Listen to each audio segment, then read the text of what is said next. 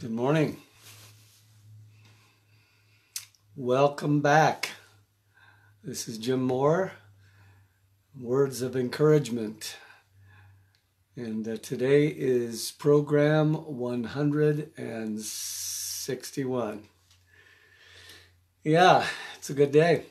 Good day to be alive. Good day to be serving Jesus. This is a program dedicated to the King and to his kids and to your encouragement. And I pray that it is an encouragement to you. So uh, it's been a few days. Um, took a break uh, for the Thanksgiving holidays. And uh, we always try to give our staff at the House of Prayer a little bit of a break. And um, they work hard. Excuse me. Some people think that uh, working at the at a place where your one of your primary objectives is to pray is a is kind of a piece of cake. Walk in the park. It's not. Hey, there's mom. God bless you. Um, some misconceptions. I dare not go down that road, but uh, some people think that again, uh, you know, uh, it's it's uh, it's not always easy to to live a lifestyle of prayer and and uh, fasting and a simple lifestyle. Um, not that uh, anybody uh, complains about that, but uh, yeah. Point being is our guys work hard and we want to give them a break. So it's good to be back, Heather. God bless you. Good to good to see you guys. I always wonder after being gone for a while if there's anybody going to tune back in or not. But um, yeah, so I hope you had a good Thanksgiving. I had a great Thanksgiving. I have to say, uh, in all honesty, I believe this was one of the best Thanksgivings I ever had.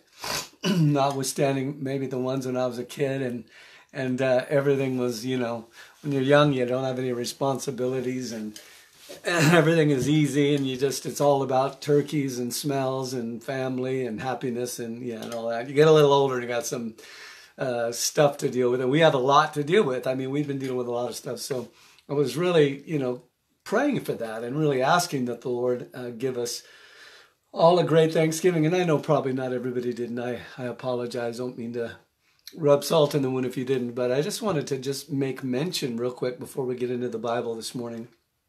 And I'm going to touch on a subject. If you looked at the heading of this, uh, this is going to be a doozy today. Okay, so this is going to be one that that um, you might have some real strong opinions on. That's okay, you know. But before I say that, I want to say that, um, you know, I felt really different this Thanksgiving. So I got up on Thanksgiving morning, turned on my music in my little room where I'm sitting right here, and just began to worship Jesus.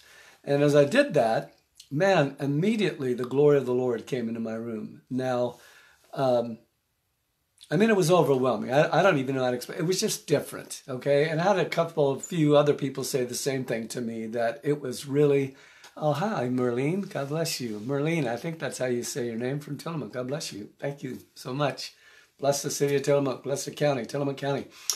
Often we have driven through Tillamook County and said, "Lord bless this," and we've got some great people over there, uh, Linda Hanratty and different ones. So we love you guys.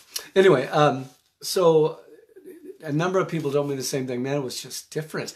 Here's what I think happened. Okay, the long and the short of it, I can't tell you miracles popped out everywhere, and it was, but it, it, I felt very close to the Lord, and I felt overwhelmed by His goodness that day, and um, and of course, then being thankful. You know, there's nothing like coming into the presence of God to make you feel thankful, and you know what I'm talking about. Um, but it was just like that whole day was kind of like that. It was like the Lord was just really near and really close. And and I believe what he showed me was that this is the nature of God that he you've heard of the scripture where it says he giveth more grace okay? And it's talking about the difficulties that come into life but he giveth more grace. And God is good that way. He's when difficult times come he gives um, not just matching grace. So if the difficulty comes up to here and you know, down here, it's it's different. When everything's going good, you're you don't need as much grace. You just don't. You're just like this. You know, actually, I think it's always kind of like this. Here's your life. here's grace. There's always more grace. God doesn't just give you barely enough to get by, okay? Uh, but of course, what you believe matters. If you if you believe that, then that automatically puts you in a position for victory. Did you hear that? If you actually truly in your heart, not just saying yes, but you really believe in your heart that that God's grace is always more than your situation. Okay, it's not up here, you know. It's it is closer down to here to where you're at. I I like to say He matches, but that's not really true. I don't think He matches here's your level of need and difficulty and challenge, and here's God's grace. I always think it's a little bit more. But when the level of difficulty goes up, God doesn't leave his grace, he giveth more. Okay, so everybody say more. That's my last name. Yeah, that's my name. Don't wear it out. Okay, you give it more. So if your measure of difficulty goes up to here, then his grace doesn't just get to here, it goes up higher. Okay, so he gives, I believe, in abundance. So I think what he showed me on Thanksgiving was that he was actually pouring out the grace to be thankful that day. And again, if you missed that, no condemnation. Don't don't beat yourself up or anything. But the the point is is that that God is on the job. Okay, don't forget that God is on the job. All right. And again, um, this message today, I've really wrestled with this because I know it has the great potential for misunderstanding. And um, and I need the Lord's anointing uh, really to help uh, deal with this that looks like a contradiction. Trudy, God bless you. Uh, because the scripture now, you've heard lots of people say, atheists, um, you know, people that try to debunk the Bible and so on. And again, I, I posture my heart to people that I respect. Everyone's right to believe. You know, God has actually given us the right to believe what we want to believe. God is not saying, hey, you know, do this or else. He's he has given us a will, is what I'm trying to say. So I just want to say I respect your opinion. If you don't agree with me, it's totally fine. But you have to love me anyway, as I do you. Uh, but this this passage or these two passages I'm going to read are actually e- examples of two of more passages, of additional passages in the scriptures. So, can we just pray? Father, I just thank you for your people today. I pray, Holy Spirit, for an anointing to say what you want and encourage your people's hearts and bring the light of truth. Uh, teach us what it is that you say, and um, even if it changes our mind about how we've always believed. In Jesus' name, amen. All right, are you willing? Are you open? Okay, so open your hearts and I'm going to talk about now. I entitled this today. Here, are you ready? I'm going to drop the bomb right off the front end here. A case for civil disobedience. Okay. Liable to lose something right now. I, I always I have a tendency to watch my numbers because sometimes when you say things, then then boom, you lose a bunch of people. Not that I'm overly worried about that, as you could probably tell. All right, a case for civil disobedience. Now I know that there are people that believe it is never God's will to stand up against civil authorities. And I, I want to state clearly that I believe in most cases it is not. It is not, okay?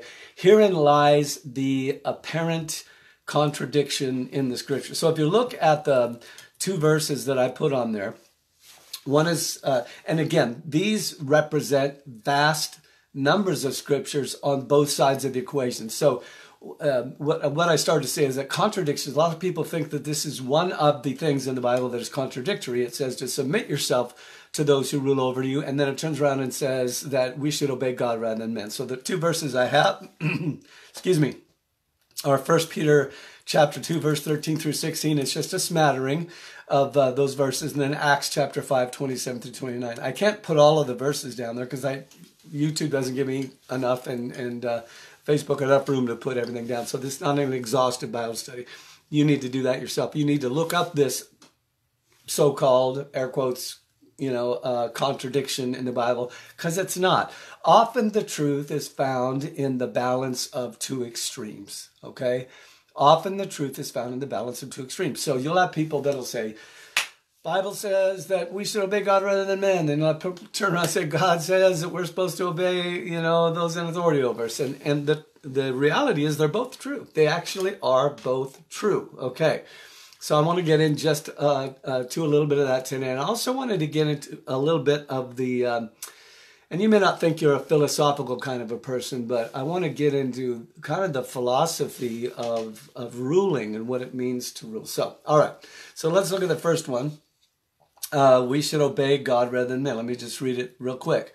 Submit, it says in one verse, in another uh, verse it says obey. Obey every ordinance of men for the Lord's sake, whether it be to the king as supreme, or to governors, or to those that are sent by him for the punishment of evildoers and for the praise of them that do well. For so is the will of God, that with well doing you may put to silence ignorance of foolish men, as free, not using your liberty for a cloak of evil, but as the servants of God. Okay, that's the one that says, and it's not, again, please, it's not just one. There are many scriptures that talk about submitting yourself to authority. Okay, so I want to start out, in lest someone automatically thinks that I don't believe that. Because here's what we do when we hold or when we walk in a lack of balance for what appears to be two contradictory statements, we tend to want to look at what we consider to be the opposing side, which is not really the opposing side, but it's out of balance. We look at somebody and we go, "Well, you don't believe that." Okay, so submit yourself to to uh, your rulers, and then it says, "Should we?" Then shows them not submitting themselves. I mean, it's a contradiction. It looks like a contradiction, but it's really not.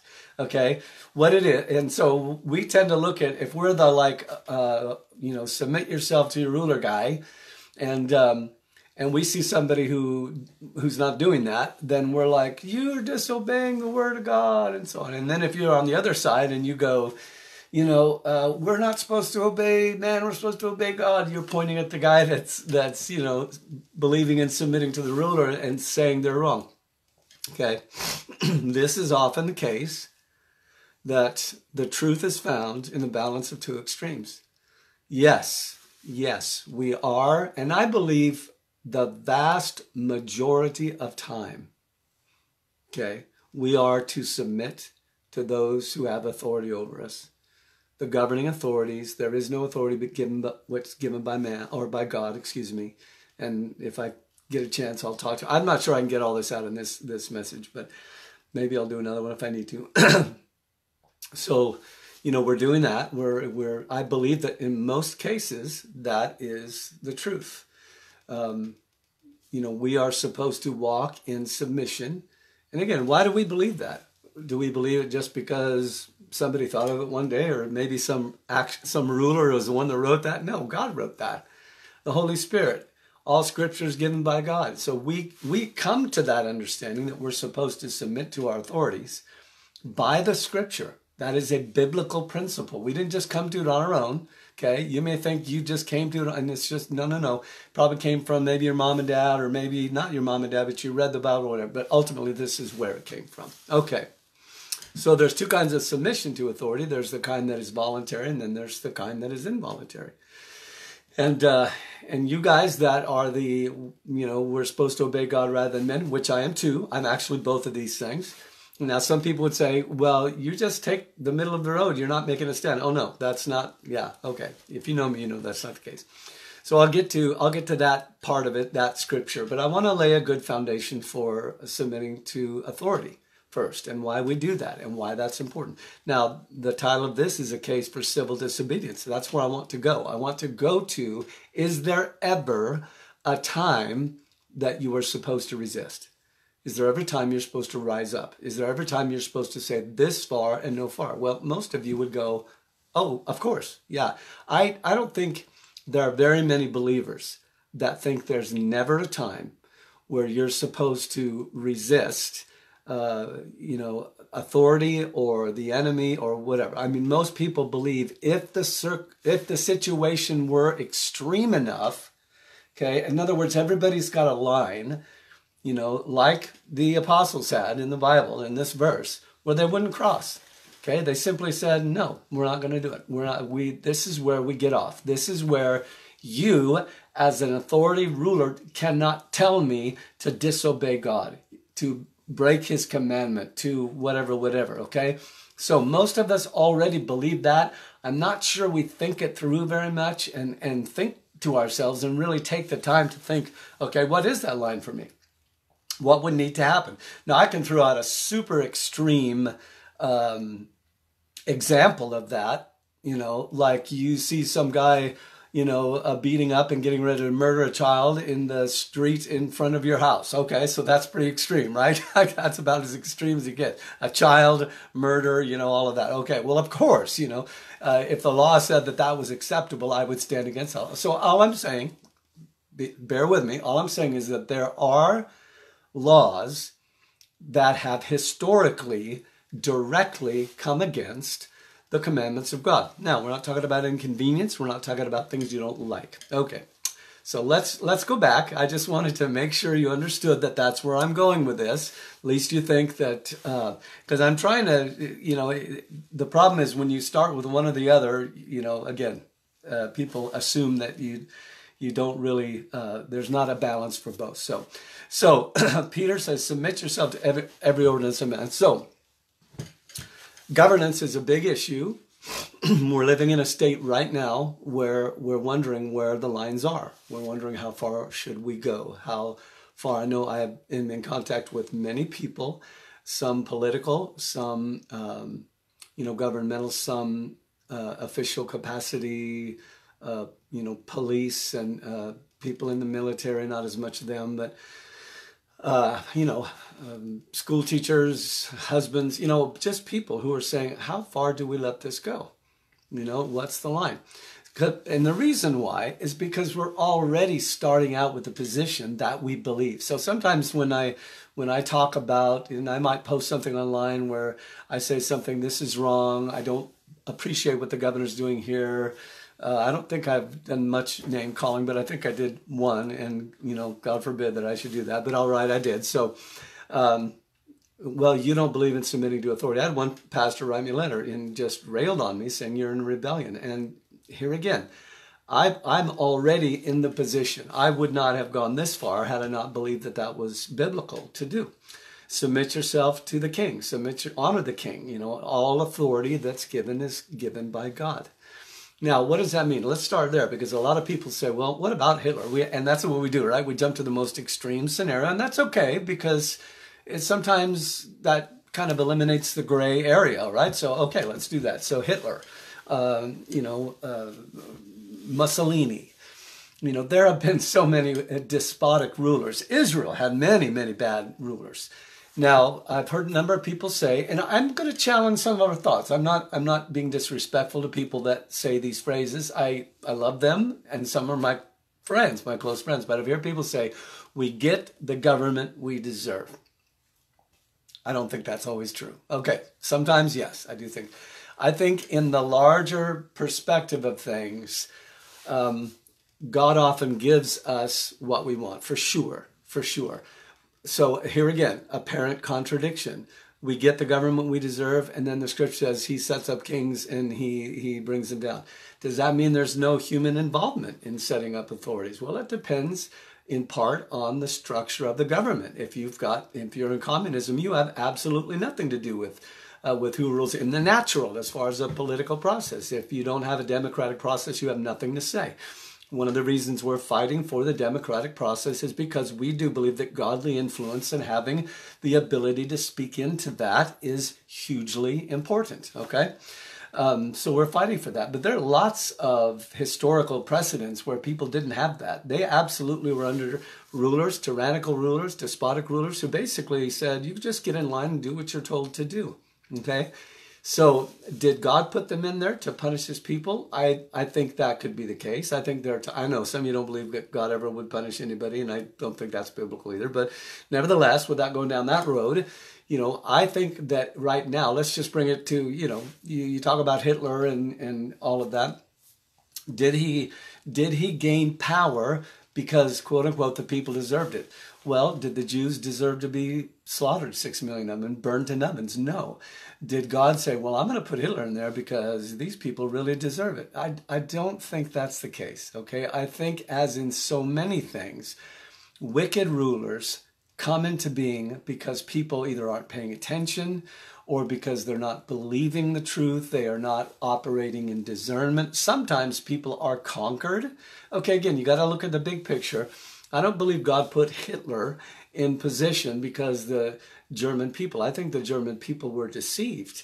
If you look at the history of the German people, and I don't want to go down this road too much, but uh, it was a very religious country, mostly Christian, in, in at least in the sense of what we, you know, doctrinally would call a Christian. We're talking about Lutherans and Catholics. I, I don't remember the percentage, but it was like over 70%, I think. So we're talking about what some people might refer to as a Christian nation, allowed a demonic guy because of the desperation of their situation to come into authority. Now again, they had they had the ability to say yes or no to that. And as dark things were happening, they didn't rise up against it. And they should have. They absolutely should have. But for various reasons, they didn't.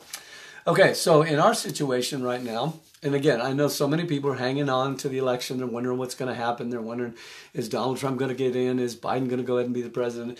Um, for the sake of this particular uh, uh, talk today, I'm gonna I'm just gonna forget about that. I'm gonna say it doesn't really matter. What matter? I mean, it does matter. It does matter a lot. If you've listened to my past things, you know it matters a lot. But we're talking about our heart position, and I'm not giving the argument that we should submit to rulers because I know that most of us already believe that. The argument that I really want to get to, and I'm very likely going to have to have another program on this, is is there ever a case to say no? Is there ever a case to rise up? I would say obviously there is because it's happened many times biblically and in our country and so on. Anyway, so right now, people are looking at this and they're saying, well, we're going to get the, the ruler we deserve. I'm not so sure that's true. We've got millions may I don't know. I, nobody knows the number because it's a hard issue. I was going to say of people that are saved. I don't know how many people are saved in the United States of America. Neither do you. Actually, nobody knows but God, because salvation is not a name. It's not a I go to this church. It's not you know I said a prayer. Uh, it, salvation has to do with the heart. It has to do with, uh, and God knows whether a person is saved or not.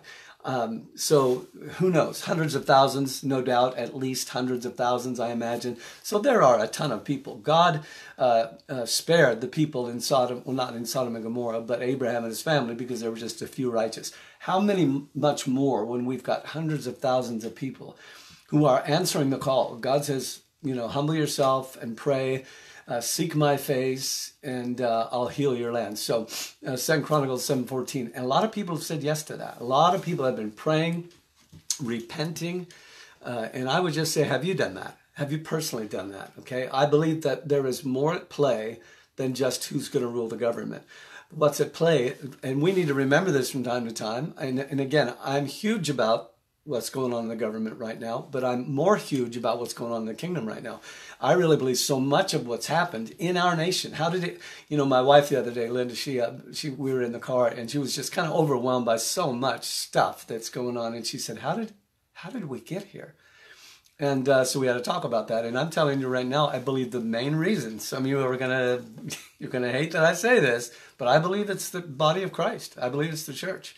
We are the salt of the earth. Salt is meant to stay to inhibit corruption. And uh, I think, as many philosophers and Christian leaders have said in the past, as goes the church, so goes the world. I've watched as we have allowed different forms of iniquity sexual impurity, government uh, corruption, deception in high offices, all these things pulling out of governance. And you know churches have become entertainment. And i'm not just downing their church. That's not my i love the bride. I love you. If you're part of the bride of christ i love you. I love the church. I actually had an encounter face to face with the lord where he rebuked me once for not loving his church. I really love the, the church. I'm a big proponent of the church but that doesn't mean we've done everything right. We are called to be the light of the, the world and the salt of the earth and so I think much, not all, because we can't force people to get saved, but we we do. We are the, still the salt of the earth. So anyway, I think we've come to this place at least in a large part because the church has not been awake. Okay, and so a lot of people are waking up. So anyway, I'm getting off track. I rabbit trail. I rabbit trail. There's a lot going on up here right now. So this country that we're in, a lot of people are repenting. A lot of people are crying out to God, keep doing it. Okay. The most important thing, you don't need to lead. Can I just give you some release here? You don't need to lead a mass group of people into, you know, humbling themselves and praying. You just need to do it yourself. Okay. It always starts with me. How am I not walking in agreement with Jesus? what compromise in my life is keeping me at a distance? I'm not saying you're not saved. I'm not saying he's far away. I'm not saying he's abandoned you. That's not what I mean at all. But you know, you could be closer. What compromise in my life is, is keeping that from happening? So humble yourself, pray, so on, so on. Help other people to do that. Encourage other people. That is at the core, I believe, of this issue because the United States of America belongs to God. And we are set. As a matter of fact, I've got two um, uh, links at the bottom of the page. One of them I'll tell you about is the movie Monumental. And I mentioned it before. I, I don't want to go into it and get off track here, but you need to watch it. If you think you really know how our country began, um, you might, but you probably don't. And so within the first 15 minutes of watching that movie, you will see things I, I'm pretty sure that you didn't know. There'll be a few of you that did, but a lot of people have no clue. The, the United States of America was literally started by Puritans, by Christians who were fleeing religious persecution. Okay, we kind of know that, but you don't get the whole story in school. All right. So all that to say, our country was given to us by God. I believe we were set up for a reason, and I don't believe God's done with our country. Okay. So submit yourself to the ordinance of men. Now, I want to talk just a little bit about force. Okay what we have, and I'm not sure how far I can go down this this road um, without losing you guys, but we we set up scenarios to protect people and to keep them in a place where where chaos is not running. You know, I, I think sometimes we forget. You know, in heaven, no one is forced Okay? Nobody is forced. Okay? God is going to do things in such a way to where when we get to heaven, the will that people have exercised to do what's right will be like extenuated and put or uh, put on steroids. There's no police force in heaven. All right? All right? But here on earth there is and there needs to be. There needs to be governing authorities, there needs to be laws. Okay? Why are, why do laws exist? I don't need a law. Let me just say it this way. I don't need a law that says don't kill my neighbor. I don't need that law. If there were not a law on the books, it wouldn't matter to me. Why? Because I submit myself to God's law. Okay? I, I am not, my primary submission to the governing principles of life is God. I don't need a law that says not to take drugs. I don't need a law that says don't cheat on your taxes. I don't need those laws. Why? Not because I'm better than anybody, but because I have chosen voluntarily to submit to the will of God in these matters. Call them paradigms, call them rules. I don't care what you call them. Okay, we we get hung up on words. It, it doesn't matter to me. Jesus called them commandments. You can call them something else. I don't care what you want to call them. But he says, hey, that's good. That's not good. Do this. Don't do that. I'm all in. Okay. So what are laws made for? What what? And I want to talk about why they're made and how they're enforced. Okay and I'm going somewhere with this, okay? I really am. Hang on.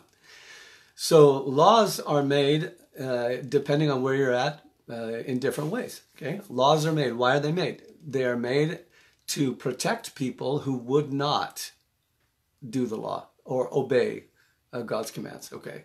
So, if I were not submitted to the laws of God, then I would need a law. Why would why would I need a law that says don't go out and beat your neighbor up or don't go out and steal from your neighbor or uh, go, don't go out and murder your neighbor. Why would I need it? Well, because if I don't have something to restrain, actually, it's the neighbor that needs the law. Okay? If you get what I'm saying. Okay? So let's just say for a minute, I don't like God. I hate God. I hate his ways. I'm not going to do it. It's all about me. I'm going to do what I want, you know, because blah, it's all about me. So, okay, it's me selfish, I'm self centered, you know, dog eat dog, looking out for number one. So that's, let's just pretend that's who I am for a second. Okay, so you need to be protected then from me. Okay? So, you know, it's not so much, the Bible says that the law it was made for evildoers. Okay, so let's say I'm an evildoer, and uh, I set my sights on your property, and you're, you're, you know, was one of the Ten Commandments not to uh, covet your neighbor's land or house or his wife, you know, or spouse. Well, let's say I don't, I don't submit to those laws, and I'm, I'm and selfish. I'm, I'm going to do what I want. By golly, I'm going to do what I want. Okay? So the law exists to protect you from me in that case. All right? Okay. So I think most reasonable people believe in that. Now, now you've heard of anarchy, right? And again, I told you to get a little philosophical here. I'm glad most of you are still watching. Okay? Anarchists or anar- anarchists, how do you like that? Anarchists, anarchy is the basic belief that that you should not have laws and you should not have structures that people uh, should protect themselves and they should have the right to do whatever they want to do. And I know this is not, it would take a whole thing to go into this. But anarchy basically doesn't believe that. It doesn't believe there ought to be a law. It should be the law of the jungle, the strong survive, and so on and so on. And it's a lot more complicated than that. But that's the primary idea. Okay, let's get rid of all that stuff. Well, most anarchists really would not believe that if they got in the right situation. But anyway, so don't want to go down that road. All right. So that's why laws made. Now, let me just say this. So what, what okay, so somebody writes down somewhere that you can't kill your neighbor.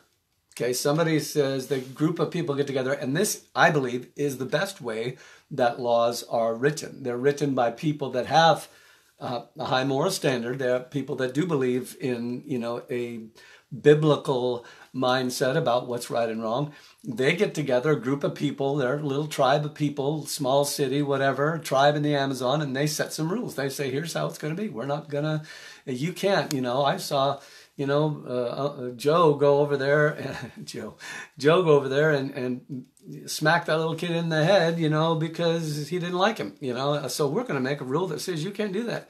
Okay, so that's great. You make a rule. Big deal the rule is only good, the law, okay? You know why we call people law enforcement officers? Law enforcement. You've heard the phrase law to enforce that rule. Now, how does that happen? Well, it's contained in the word, okay? Force.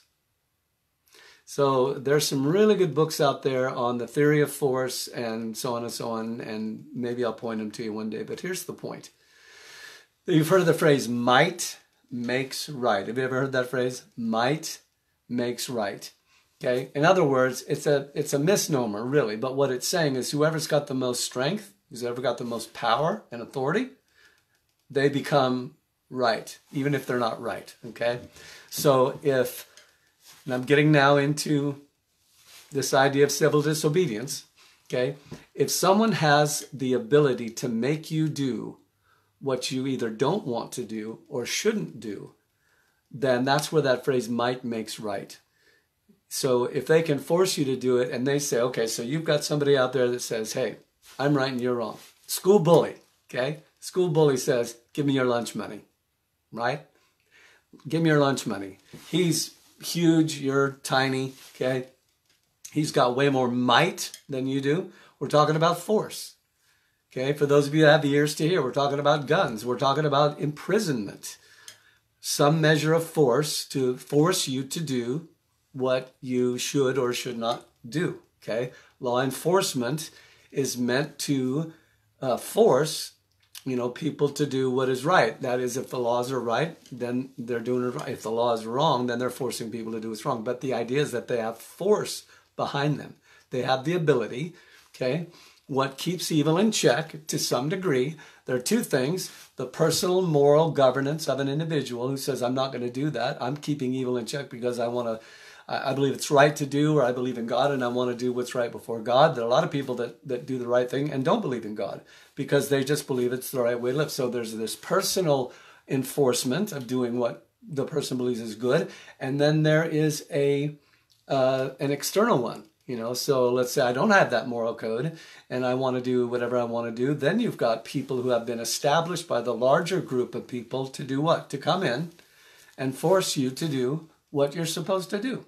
Okay, now that's how it's supposed to work. We, we have good people writing good laws, and then we have people who enforce those laws because, frankly, a, a law or a precept or a command or a paradigm or whatever, not a paradigm, uh, you know, a parameter, whatever you want to call it, is no good if it is not enforced.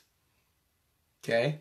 So in the scripture, we we voluntarily submit ourselves to God and to the king and so on. Okay? They are sent by God, it says, to punish those who do evil and to bless those who do good. But that, what happens when that goes astray?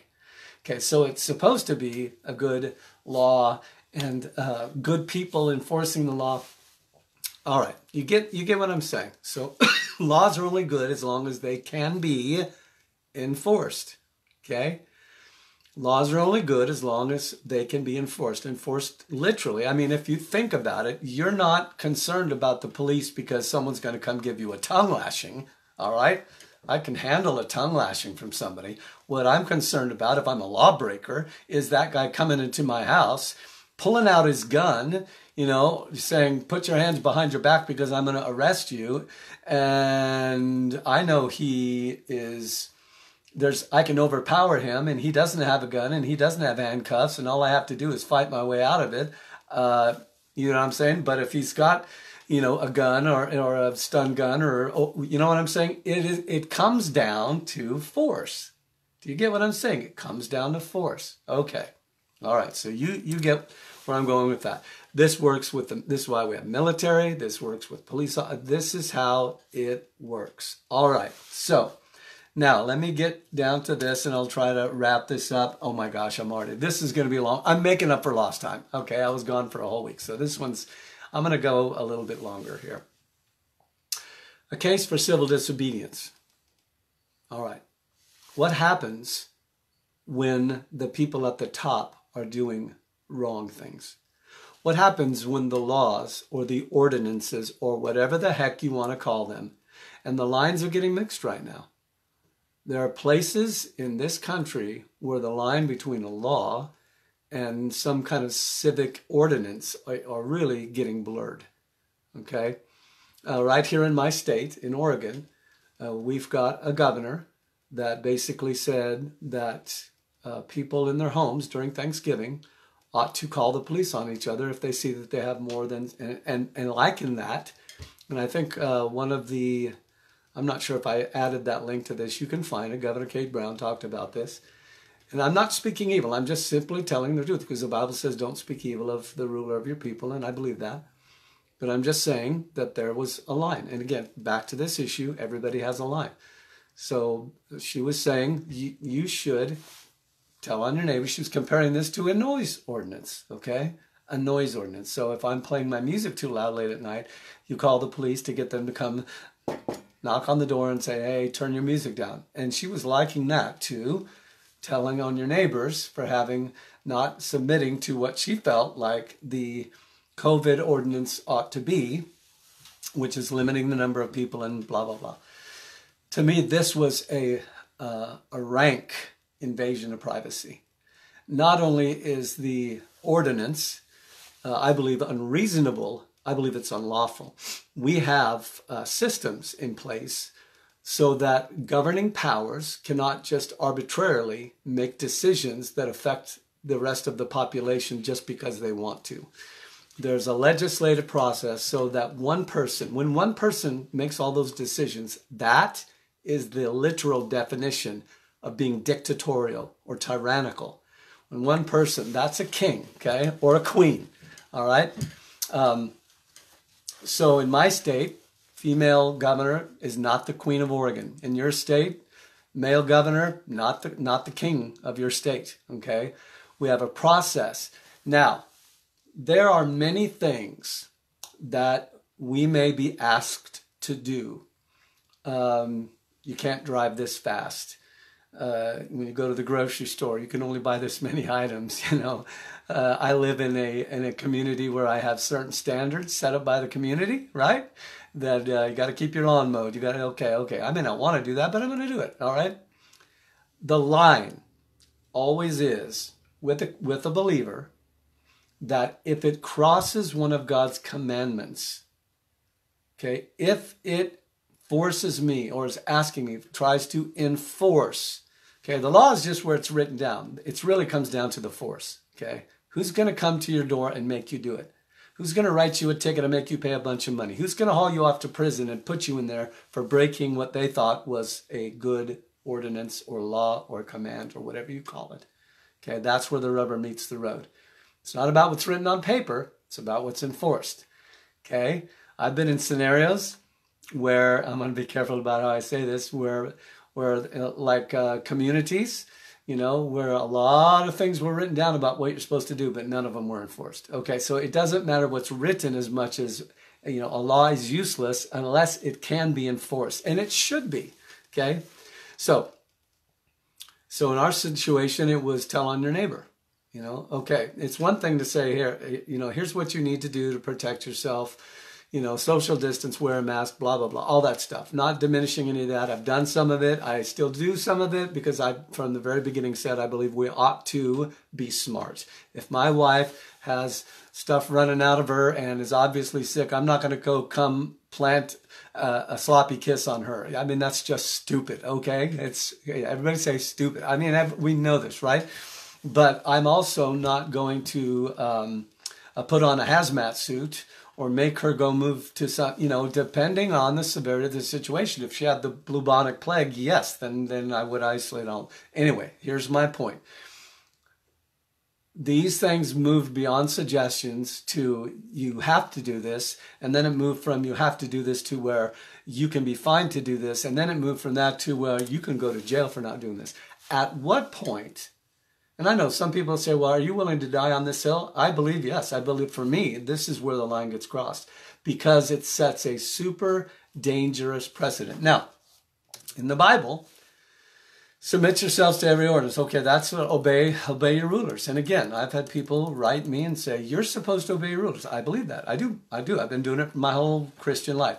So let's look at Acts chapter 5, verses 27 through 29.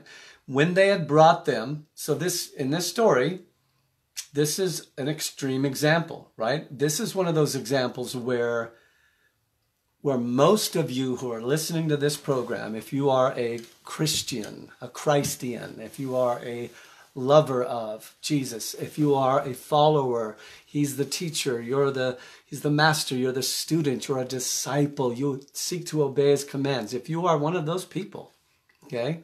You have a line. And this is this is no doubt where most of you, okay, would say that's crossing a line. Okay. Now, just saying it's crossing a line is one thing. Actually doing something is another. All right. So they had basically passed, okay, a law. I don't know if it was written or if it's just something that was verbal. Doesn't really matter. They had the force, everybody say force. They had the ability physically through weapons and, you know, general consensus to enforce or to make happen by force what they were saying. And I, again, I say because I don't know if they wrote it down or not. I haven't, didn't have time to do the research. Okay. But the point is, they crossed a line. And what happened? These now this is not Rome. This is uh, the high priest. Okay, so they actually had two governmental authorities that they had to answer to. They had to answer to the Roman authorities that were the civic uh, you know, authorities in, in the land, and then they had their own uh, authority in the the church, as it were. It's not actually the church; it was Judaism, because Israel was um, governed by uh, the you know biblical principles and religious men and women who'd gotten way, way, way off off guard or off uh, off the rails. So the high priest is is who's saying this to them. So you've got Peter, you've got, you know, some of the disciples, they're standing before the council, and here's what they told them to do. Okay, are you ready? Here's the law they passed. Here's the ordinance they passed. Here's their governor, as it were, saying, you can't do this, and if you do, I'm going to put you in jail. Okay, here's, you know, and say, well, you're making too much of that. You know what? This is how nations fall. I asked the question earlier how did a, a mostly Christian nation, a mostly biblical believing nation, Germany, the history of Germany is rife with Christian, uh, eh, you know, yeah. How did they go so far off the rails? Well, it was because the people that were warning them that they were going off the rails were criticized, mocked, told that they were being unreasonable, told that they ought to obey their authorities, told that they were just being radical. All of these things. There were a few voices that were warning the German people hey, we're going down the wrong road. If we don't stop, we're going to wind up in a horrifying situation. People like Dietrich Bonhoeffer. All right. So the high priest says, Didn't we not strictly command you? When they brought them before the council, the high priest said, Did, Didn't we strictly command you not to teach in this man's name? And look, you have filled Jerusalem with his doctrine and intend to bring his blood. Blah, blah, blah. Okay. So the authority, the ones who could enforce their law, were telling people like you here's what you can't do. You cannot preach the gospel. Okay, so most of you are listening right now. You're like, no way, I wouldn't do it. Okay, it's always really easy to say that, isn't it? Yeah, I question myself. What would I do? You know, I don't want to see our country come to the place where this happens. And you know what? I know some of you think that's overreaching, but it's not. We are literally moving towards. Uh, there are already laws written and in place that have not been passed that the, that a whole sector of the governing authorities in our country want to pass that says there are certain passages in the Bible you cannot read publicly. I'm not talking about preaching on them, expounding on them, saying what you think they mean. I'm saying you can't even read them. Most of them have to do with sexual immorality. And it's like we're asleep to it. It's like, well, that's never going to happen. I'm not going to worry about it until it does. This is where they were at. Okay, they were, you say, well, that's different. Well, yeah, there's every situation is a little different, but the point is, they came to a place. Okay, so what I'm trying to get you to see, because there's there's people, and I keep getting this pushback. You're supposed to submit to authority. I get that. I do. I believe it. I do it with I do it in the sincerity before God. But is there a line I will not cross? Absolutely. As a matter of fact, there are a number of lines uh, that I won't cross. Anything that God says to do that is a sin that they tell me I have to do, I won't do it. I won't do it. And I will speak out against it. Did you realize that all of the apostles, well, maybe not all, at least most of the 12 apostles were martyred not just because they believed in Jesus, but because the, the law of the land forbade it. They were forbidden by the authorities to preach and teach and publicly be a Christian. There was a time that Christian Christianity itself was illegal in their day. You say, well, that's never going to happen. Well, actually, it's happening right now. It happens in various places that it is against the law to be a Christian. Okay? So this this kind of a hypnotic veil over our eyes that says things like this can never be, we're actually watching these things unfold. I'm not an alarmist. I'm just saying this is the truth. And that's part of the reason that we don't see the truth is because we're too busy pointing fingers at people that are sounding the alarm saying they're they're extreme or they're crazy or they're radical. And because you're radical, I don't really have to listen to you. Okay? And what does it say? I'm not a prophet, God forbid. I, I really don't believe I am. All right. But this is what it says about the prophet. You realize why they killed all the prophets? Because of this, because they were telling them stuff that was coming that they didn't want to hear. Okay. Is there a line that you can that that your authority that you are submitting to currently could cross? Well, most of us would say yes, of course might doesn't always make right. Just because you can have the might and the strength and the power to enforce your will doesn't make it right. Okay? All right. So, what is that line? Well, in this story, the line was that they couldn't preach. And look what they said. They said they brought him before, they literally brought him into court. Okay, so literally, these guys were breaking the law. The law was unjust. Okay, now I don't believe what's happened to us over Thanksgiving is um, on this this level at all, okay? Because I know some people are going to go, oh, you're comparing, these are not apples for apples. You're right. You're absolutely right, okay? But, th- so this is not the same. Having a law in place that is enforceable, and people that have the will to enforce that law that says you cannot uh, speak out, you know, for Jesus. Now, in this case, it wasn't outlawed to be a Christian, it was just outlawed to speak about Jesus. Okay, because these things, they go step by step.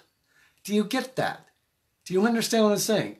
And this is, people don't like to be warned because they, they say, well, it's not that bad. You're talking about way, way out here, okay? But it does go, it's the frog in the kettle. It does go step by step.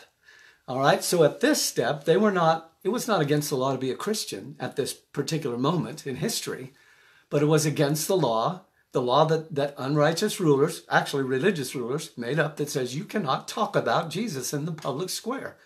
Now, our laws say you can't talk about certain sexual issues in the public square. Okay, hate speech. All right, there there are people that are labeling parts of the Bible as hate speech. So even though they're not pressing that issue, it is coming. It may be a few steps down the road, but that is the direction we're going. Do you understand what I'm saying? Okay, so take a deep breath. Not trying to overwhelm you, but I'm trying to say that this. So I just want to get to their answer. They said, Did we not say that you were not to teach or speak out loud in this man's name? Don't talk about this man, Jesus, and, and uh, so on and so on. And look what they answer. But, okay, but. All right. Instead of Peter going, Oh, you know what? I need to obey uh, my rulers because that's what the scripture says, you know, and so on and so on. Peter and the other apostles answered and said, We ought to obey God rather than men. In other words, what's he simply saying? He wasn't using obeying God as an excuse to just balk and gripe and bellyache about everything that happened that they didn't like. Okay, that's not what this was. This was them saying, Here's the line. Here's the line. Every one of you have a line, I hope. Okay, I believe. Okay, and again, we use extreme scenarios to illustrate the fact that you have a line. Maybe you haven't thought about the line, but there is one. You see some guy beating up a puppy out on the street, or abusing a child, or or setting their neighbor's house on fire. You that's your line. Okay. Now, again, these are things that are currently against the law, right? Okay. But let's say you lived in a place where it was not against the law to do that where it was was uh, you know, and you say, well, there's no place like that. Actually, there have been. There have been places. Okay, and I don't want to go down there, but so the point is, you have a line. You have a line where if your governing authorities said you cannot preach Jesus, for many of you, you'd say that's that's my line right there. I've been quiet to this point. I haven't said much. I haven't done much. I haven't made a big fuss about it, but here's where I draw the line. So I am looking at this. I am not calling for people to rise up in civil unrest. That's not what I'm doing. I'm saying there is a point in which not only is it acceptable, it is the right thing to do. Okay? So, what is that point for you? Well, my concern is not what that point is for you, it's what it is for God. So, let me take the last five minutes here because I'm coming up on an hour. I'm actually almost at an hour. Let me just cite a few examples where this happened. So, uh, Moses, okay, the authority that was in his day. Actually, uh, once I start down this road, nearly uh, or many, many Old and and and and and New Testament. Okay, for those of you kind of disregard all everything in the Old Testament, Old and New Testament examples of worshipers of God who rose up and said, "No, this is where we draw the line. This is where it can't happen. Okay, so Daniel, Shadrach, Meshach, and Abednego, Azariah, Hananiah, and Mishael. Ah, I got their Hebrew names right. Okay, so they were they were in Babylon. They actually served in a pagan governmental system by the will of God. Ah, I wish I could go down that road. Okay, some of my uh, ministerial friends, this is a, an issue with them right now. It's, it's they were in a pagan system, but they had a line, right? What was their line? Well, immediately when they came in, their line was something as simple as food. Okay, they observed strict Hebrew dietary law. Now, you wouldn't think that was a hill to die on, but for them it was. For them, they said, "Hey, um, we don't want to do that." Actually, that that was not quite as big a deal because they said give us uh, vegetables to eat for 10 days and if we're not as healthy and smart and wise as everybody else then we'll eat whatever it is the king so they weren't like laying down their life for that one they that was not a hill they were willing to die in other words they actually submitted that to god i think basically they were putting it in the hands of the lord and saying okay hey if god really wants us to eat their meat we'll do it if he doesn't you know uh, want us to if he wants us to maintain the hebrew dietary law uh, we'll do that, but he's going to have to do something so that we can do that. And he did, okay? But then there were other things that came to pass in the course of their serving. Remember, it was a pagan, we're talking about the Babylonian system, pagan, pagan, pagan, pagan. Horrible things that they did and believed were okay to do, okay? And uh, mandated in some cases by law. It came to a place, this is the nature of authority. Unless authority is under the authority of God, it typically gets more and more corrupt. You've heard the phrase many times, no doubt. Authority corrupts and absolute authority corrupts absolutely. This is really true. We have almost nearly every situation where somebody had been given great authority, but was not under the, the covering of God's authority, that that authority corrupted them. Okay, so can't go down there. Um, so in Daniel's day, these, this authority got worse and worse to where, you know the story, throw them in the lion's den. Hey, everybody's got to worship me. Uh-uh. No, that was their line. Okay, that was their line. Now they were thrust into a pagan society. America is not a pagan society. We have hundreds of thousands of believers. Now the problem is we've got more. And I'm just going to be, I know some of you are going to disagree with this, but numbers don't lie. The truth is there are more people that are not Christians than there are in this country who are. Okay? So again, that's not a heart judgment and so on. I'm just saying, okay, there's a remnant. All right. So, but they were thrust into a pagan society. So one was the lion's den. Or he said, worship the king. No. Okay, throw you in the lion's den. What was another one? Um, bow down before the idol. Made a golden idol. Bow down. What's the big deal? You know, when you hear the music, bow down. No big deal. No, they said that's a line we won't cross. Okay, what about New Testament? Well, like I said, nearly all of, I could cite a number of Old Testament, I just don't have time. So, New Testament guys, all the, the apostles, okay? They, Christianity actually became illegal at some point, and, uh, and they suffered and died. Fast forward, I, again, lots of examples throughout history. Let's just move all the way up throughout history to now or to uh, the founding of our country. So uh, realize our country was founded. You should watch the link, okay? You should watch Monumental, even if you can only watch the first 15, 20 minutes, okay? Our country was founded by uh, Puritan. They, they estimate that 30% of our country right now are the descendants of the uh, Puritan pilgrims. See, you hear pilgrim in school, pilgrim, pilgrim. What you don't hear is the double P, Puritan pilgrim. These were Puritans. What is a Puritan? Someone whose primary belief was, without holiness no man shall see God. Be holy for I am holy, saith the Lord. Not man, not your crazy wild-eyed preacher, but God said that. They, they believed in purity. They believed in the in the, the absence of sin because of the blood of Jesus positionally and the sanctification of their life and the working out of all things that God was unpleased with, what we call sin and so on. They believed in purity. Purity. Purity. That's why they were called Puritans. Okay? Now, were they messed up in some ways? Yeah, absolutely. Just like you, just like me. Okay? So it's not that they were perfect in every way they did. They did some really dumb things too. All right. But here's the point they left. Okay? They went from England to Holland, back to England, and then to America. They left persecution. Why? Because the king, King James, has basically deified himself and says, I'm going to tell you how to worship. I'm going to tell you what you can and can't believe. You can't have a Bible. Okay, you'll have to watch um, some of the movies. But anyway, they came to the place where they crossed the line. So, so I'm almost done. The very beginning of our country started with people, ref- are you listening to me? Refusing to obey their governmental authority. Your country that you live in began with a small group of people, I believe about a hundred, who refused to obey their governmental authority. Why? Because they crossed the line. Now, it wasn't just one or two issues, okay? Let's, and again, I'm not comparing it to where we're at right now. I'm really not. I don't believe we're there, but I do believe we're moving there, okay? I do believe we're on a path that's going that way. Okay, so they said, we cannot do this. We can't live like this. We can't, we're, we, it has come to a place where we are disobeying God in order to obey that man who calls himself a king. We got to, it's, it's, we can't. We just can't. Our conscience says we can't. We ought to obey. They were saying what Peter said here. We ought to obey God rather than man. If it comes down to God or man, there are some gray areas. There really are. Okay. You can't drive your car, car as fast as you want. You know, you got to mow your lawn. You know, there's some, there are, you know, so, you know, buck up. Don't be a baby. Okay. But then there are things. And, and at what point, I can't tell you what that point is.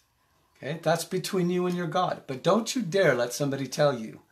Okay, I, I'm not. I'm not supposed to tell you where that line is. I know where that line is for me. Okay. So anyway, they left their country and they came to this one or to another country in order to have to be able to obey God and propagate the gospel. Read the Mayflower Compact, the initial agreement they had with each other as to why they came here in the first place. They were literally practicing civil disobedience, full on rebellion against their king, full on, okay? Fleeing, departing. And because for them to do what they felt was right in their conscience to do before God would have cost them their life, and they simply didn't want to die. And who can fault them for that? Okay. And then when they came, okay, after about 150 years, things progressed to such a place to where they were chased down. Where that same demonically inspired governmental authority, because it had come to that, it didn't start out that way, but authority corrupts, it had come to that, went chasing after them across the ocean. They said they they sent their statement. It said, "We're not." Okay, here's my point. Your forefathers did what I'm saying right now. They believed in authority. They practiced authority, what the Bible teaches about it, to a point. And then they, and again, I would suggest that almost everyone listening to me has a point. Okay. As a matter of fact, I know it. I don't think there's anybody who is so submitted to government that if someone came to try to, you know, uh, kill your wife and kids, that you wouldn't do something about it. I mean, if you do, you you you are a call. Yeah. I mean, I'm sorry. I don't know how else to say it, but you're, yeah. Anybody that would just let somebody come in and and abuse their family, I I don't know. I don't know what I would say about that. So what I'm saying is, we all have a line. You and God have to decide what that line is. Okay. So if let me end with this statement right here. If your forefathers and foremothers, your descendants, the people who came to this country, had not practiced civil disobedience, you wouldn't be here. We wouldn't ha- be having this conversation right now. And interestingly enough, out of the 100%, and these are these are numbers, they're they're not exact numbers, but they say about 30% of the people decided to resist the tyranny of the king across the ocean. About 30% of them decided to stay in obedience to the king under his tyranny and basically slavery. And then there was that middle ground of about 30% ish who were just going to say, well, we'll just see what happens. They weren't for or for or against. They were just kind of, well, we'll just, we don't want to get involved. So I know this has been a rough one, okay? I'm trying to answer some questions that get asked to me. Is it ever right to stand up and say no? And my answer to you is absolutely yes. Are we at that point? That's not my point to judge, only for myself. I believe it is right to uh, stand up and speak against some of the uh, injustices that are happening, for sure. Absolutely, for sure. Why? Because I don't want to remain silent and watch those injustices increase more and more to where eventually I don't even have a say. I don't know what I'm going to do if they pass a law that says you can't stand up and read, um, you know, uh, First Corinthians, you know, 13, or you can't stand up and read this passage. You can't do that because that's hate speech. I don't, I don't know what I'm going to do. I'm probably going to stand up and say it anyway because that is a line for me. I am called to preach the everlasting gospel of Christ and nobody is going to tell me that I can't preach it. They're just not. Okay? All right. So, love you guys. Uh, again, forgive me if I get overly passionate about some things. I just want to try to bring some balance. You know, for those of you who are struggling with this issue, you really have to look at both sides of it to understand that God says, yes, authority is given by God. You're supposed to submit to it for the, you know, protection of, you know, of punishment of evildoers, protection of good. But there does come a point in which you have to say, no, I won't do it. All right? So God bless you guys. Thank you. I know this was a long one. I apologize. I'll try to keep it shorter. If you have questions about it, um, feel free. You can write me and um, I'll tell you what I think or what I don't know. So be of good cheer. Yeah, it is a difficult time that we're living in, but know that God is still on the throne in the larger picture of things everything. God is God is in control. And well, okay, there's another whole thing there, but ultimately He is going to bring His will to pass. I just want to live right for Him until He does. So God bless you guys. Again, uh, praying for you today. Pray that you have a blessed day. So, Father, I just bless your people today, encourage their hearts, and give them um, just give them grace to to live holy and happy for you today in Jesus' name. Amen. God bless you. Thanks for listening. Uh, share this if you will, and uh, give yourself permission to have a great day.